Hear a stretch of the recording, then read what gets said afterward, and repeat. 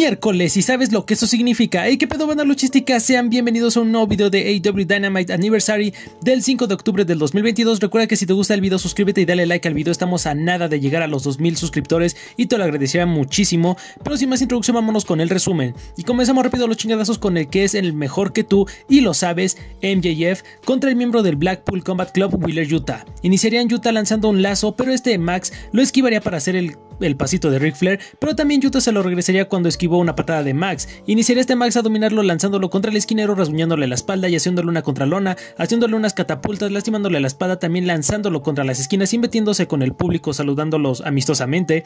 Utah al fin contestaría mandándolo contra la esquina para hacerle cuatro suplexes alemanes, tomaría altura pero Max se movería para lastimarle el brazo y hacerle una quebradora revirtiendo un bombazo.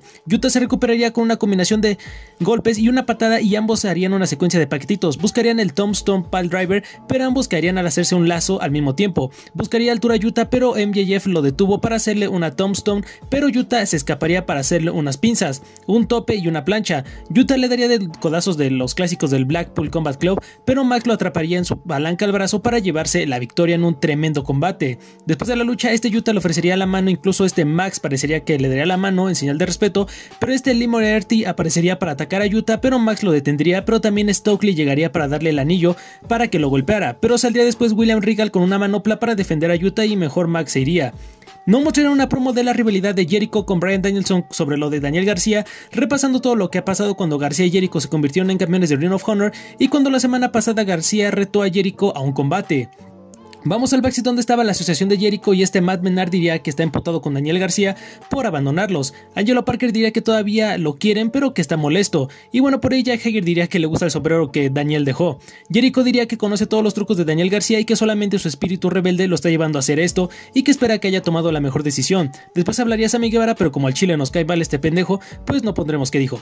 Seguimos la acción con Darby Allin contra Jay Lethal, empezarían ambos con el llave contra llaveo, Darby empezaría con unas derribadas, trataría de darle la mano, pero este Jay le daría una patada y empezaría a lastimarle la pierna, incluso trataba de lanzarlo contra la esquina, pero Darby se secaría por el dolor.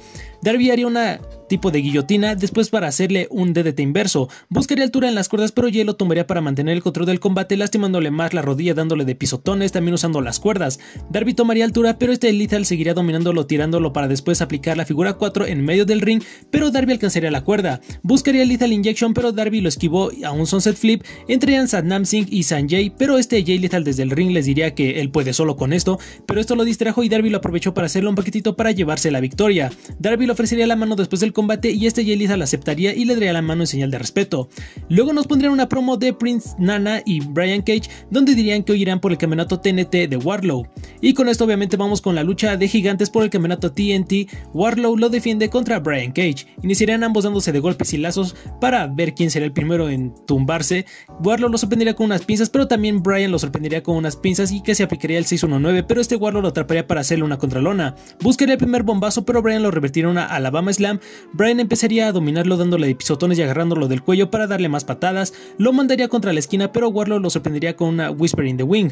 Conectaría unos suplexes, pero cuando buscaba altura, este Brian lo bajaría para hacerle un suplex, también le haría un F5, pero este Warlow se saldría de la cuenta. Trataba de hacerle un bombazo, pero Warlow lo, lo detendría con dos cabezazos y un lazo y ahora sí iniciará la sinfonía de bombazos haciéndole solamente cuatro para llevarse la victoria así reteniendo su campeonato. Pero después del combate saldrían Gates of Agony para seguir atacando, pero saldría también Samoa Joe para ayudar, pero no podría con todos. Y pues Tony Khan se acordaría de que tiene a FTR y también saldrían para ayudarlos y los demás mejor se saldrían del ring. En backstage más temprano esta Britt Baker diría que Saraya todavía no tiene la alta médica y que AEW seguirá siendo su casa. Vamos con una lucha de tríos. Jamie Hater, Penelope Ford y Serena Deeb acompañadas de Britt Baker y Rebel se enfrentan a Willow Nightingale, Athena y Tony Storm acompañadas de Saraya.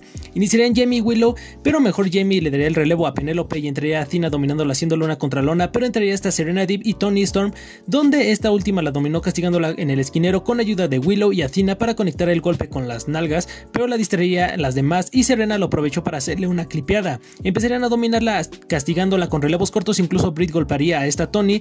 Esta Serena le lastimaría las piernas a Tony mientras le hacía un suplex a Athena, pero aún así lograría darle, darle el relevo para que entre Willow haciéndole un rompespinas a Jamie Hater, esta Rebel trataría de golpearla con una muleta, pero Saraya se la quitaría. De vuelta al ring todas empezarían a hacer su remate, a castigarse, donde al final Penelope casi se lleva la victoria al aplicar un cutter, pero ya para terminar buscaría impulso en las cuerdas, pero esta Willow la detuvo para, con una patada para aplicarle un bombazo para llevarse la victoria. Después del combate Breed encararía a Saraya, pero se irían a los golpes donde también se metieron las demás, pero al final Saraya sacaría Rebel con una patada.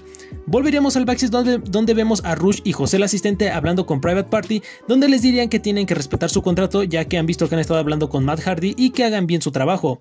Volvemos al rincón de Acclaim para celebrar el Día Nacional de las Tijeras. Bowens diría que AEW ahora significa Acclaim Every Wednesday, que la camiseta de Billy Gunn es la más vendida y que hacer el gesto de las tijeras es un saludo y un gesto de amistad. Se burlaría de Swerve, pero este Billy lo interrumpía para regalarle unas tijeras doradas gigantes.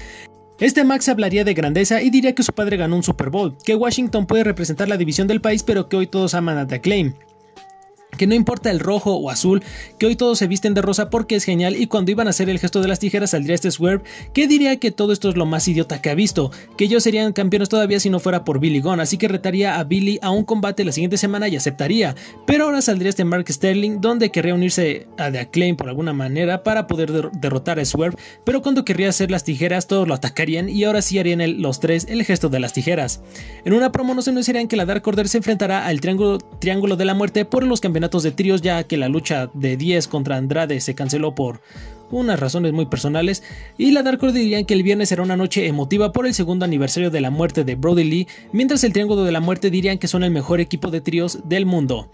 En Backstage está Madison Rain diría que hay mucho potencial en la división femenina de AEW destacaría a Sky Blue, pero llegarían Anna Jay y Ty Melo donde se burlarían de ellas, pero Sky Blue les diría que mejor se concentren en mejorar en el ring y que les retaría un combate a, a ellas a este viernes y estas Ty aceptarían y Ty Melo le diría que como dice Chris Jericho los sports entertainers siempre serán mejores que los luchadores profesionales.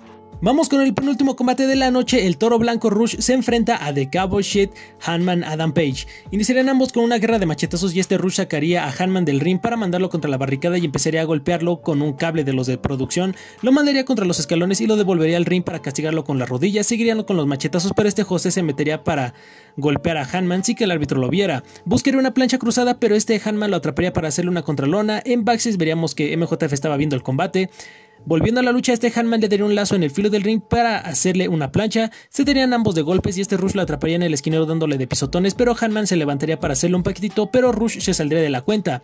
Buscaría el Buckshot Lariat, pero José lo detendría para que Rush le hiciera un martinete, pero cuando querría hacerle la patada en el esquinero, este Hanman lo sorprendería con un lazo y el Buckshot Lariat para llevarse la victoria. Después del combate saldrían Pirate Party para atacar a Hanman Page, pero llegaría el campeón de AEW John Moxley para ayudarlo, pero encararía mejor a Hanman Page. Le diría que esperado por más de 3 años y que el 18 de octubre solamente quedará una persona de pie. En 13 días le romperá la cara, lo ahorcará hasta dejarlo azul, será el único tipo importante en AEW y que será el mejor luchador del mundo. Que le tiene respeto por su talento, pero que cuando se trata de sobre el campeonato no tiene respeto por nadie. Hanman le diría que por qué esperar más y que se dé el combate de, una vez por todas, pero Moxley le diría que es un buen chico, pero que su boca le, lo puede meter en problemas, pero que hoy lo dejará pasar y mejor se iría. En backstage está Willow Nightingale retaría a Jade Cargill a una lucha el viernes por el campeonato TBS en Battle of the Belts. Llegaría hasta Jade junto con las Buddies, donde solamente le recordaría que ya la ha vencido dos veces, pero Willow le diría que tal vez sea la número 39 en su racha cuando la derrote, pero también puede ser la primera en derrotarla. Vamos con un squash Luchasaurus contra Fuego del Sol donde solamente le haría una garra y una contralona para llevarse rápido la victoria. Luchasaurus querría lastimar más a Fuego del Sol, pero saldría este Jungle Boy atacarlo con una silla y le diría que él siempre fue su mejor amigo y que después de tanto tiempo escogió solamente a Christian y que eso le rompió el corazón y que ahora le romperá los dedos, la nariz y que no pasará y que no parará hasta quebrarlo cuando él quiera y que puede tener este combate en donde quiera que sea. Christian contestaría diciéndole que esa lucha no se dará en Washington con estos perdedores y que la siguiente semana cuando vayan a su ciudad natal Toronto, Canadá, se dará esa lucha. Antes del main event vamos con la clásica cartelera donde este viernes en AEW Rampage tendremos a El Triángulo de la Muerte contra la Dark Order por los campeonatos de tríos de AEW, Varsity Blondes contra Tony Nese y George Woods, Ty Melo y Anna Jay contra Madison Rain y Sky Blue, a John Moxley y Claudio Castagnoli y Wheeler Utah contra Rush y Private Party. También el viernes en Battle of the Bells 4 tendremos por el campeonato TBS a Jade Cargill contra Willow Nightingale por los campeonatos mundiales en parejas de Ring of Honor FTR contra Gates of Agony y por el campeonato de AEW All Atlantic a Pac lo defenderá contra Tremberetta. La siguiente semana en Dynamite desde Toronto, Canadá tendremos a Jungle Boy contra Luchasaurus, a Billy Gunn contra Swerve Strickland y la lucha 3 de Chris Jericho contra Brian Danielson por el Campeonato Mundial de Ring of Honor. Ahora sí nos vamos con el pinche perro main event, lucha en parejas de 8, Chris Jericho y Sammy Guevara contra el dragón americano Brian Danielson y Daniel García. Iniciarían Daniel y Jericho, este último dándole la mano para pasar al llave contra llaveo y luego una guerra de machetazos, pero este Sammy agarraría el pie de Daniel cuando pasó por las cuerdas, entraría Sammy pero Brian lo dominaría dándole varias patadas, también haciéndole un tope a Jericho para volver al ring con la missile dropkick, le daría su tanda de patadas y haría el crossface, pero Jericho lo detendría pero también recibiría una llave de Brian, aplicaría las murallas pero Daniel lo detendría entraría Sammy para que, pero recibiría unos suplexes de Brian, buscaría altura pero este Sammy lo detendría para hacerle un Spanish Fly, ambos caerían al hacer un lazo al mismo tiempo y ahora entrarían Daniel y Jericho ambos encarándose y se irían a los golpes donde Daniel lo agarraría en el Dragon Slayer pero Sammy lo detendría con una patada y le haría un mortal a Brian. Jericho fallaría el salto de león y Daniel atraparía en el crossface a Sammy y Brian también haría el crossface a Jericho, los dos al mismo tiempo. Sammy casi aplicaría su remate pero Daniel lo esquivaría. Por fuera este Jericho le haría un suplex a Brian en la mesa donde está la campana y de vuelta al ring este Sammy aplicaría el GTH pero fallaría el Shooting Star Press y Daniel lo atraparía en el Dragon Slayer pero Jericho lo golpearía con el cinturón de Ring of Honor para llevarse la victoria ahora sí para terminar con el show. Thank you.